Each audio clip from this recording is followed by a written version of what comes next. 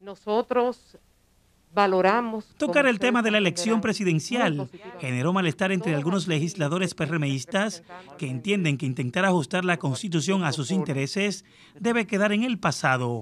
Ya eso es un, ¿cómo se llama? un proceso que lo discutimos por muchos años y no es verdad que nosotros, cada presidente que esté quiera modificar eh, nuevamente ya lo que se había acordado ya. Dos y nunca más. El senador Alexis Victoria Yet consideró que el diálogo con el liderazgo nacional debe girar en torno a la reforma propuesta por el primer mandatario. Hay muchas situaciones que, es bueno analizarlas y ojalá que los puntos que estaban eh, con mucha discrepancia de acuerdo a la, realidad se ha retomado. Similar posición tiene el senador de la Fuerza del Pueblo, José Castillo, quien entiende que es imprudente debatir ese tema en el diálogo nacional.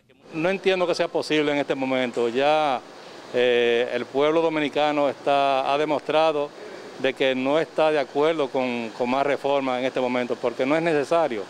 O sea que, que yo creo que eso se sale de, de contexto en este momento.